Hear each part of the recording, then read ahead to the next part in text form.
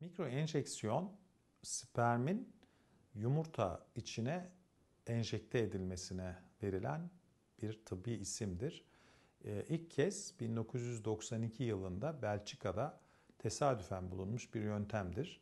Bu yöntemin en büyük avantajı özellikle sperm sayısı çok düşük olan erkeklerin bile e, bugün baba olabilmelerini sağlayan bir yöntem olmasıdır. E, mikro enjeksiyon yöntemi bulunmadan önce bu kişilerin baba olması mümkün değildi. Çünkü en az yumurta başına 100 bin sperm kullanılması gerekiyordu. Dolayısıyla 5 e, yumurta olduğu zaman 500 bin, 10 yumurta olduğu zaman 1 milyon sperme ihtiyaç duyuluyordu. Ama bugün günümüzde sadece birkaç adet spermi olan erkekler bile bu yöntem sayesinde baba olma şansını yakalayabiliyorlar.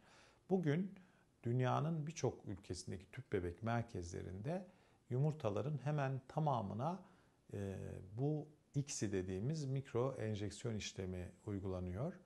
E, burada sadece e, mikro enjeksiyon yöntemi değil, klasik tüp bebek yapılan yani halen normal spermleri olan erkeklerden alınan spermlerle e, yumurtaların yan yana bırakılarak bunların döllenmesinin beklenmesi de dünyada halen yüzde 20 ila 30 civarında kullanılan bir yöntem ama bugün ülkemizde hemen hemen tüm tüp bebek uygulamalarında mikro enjeksiyon yöntemi tercih ediliyor.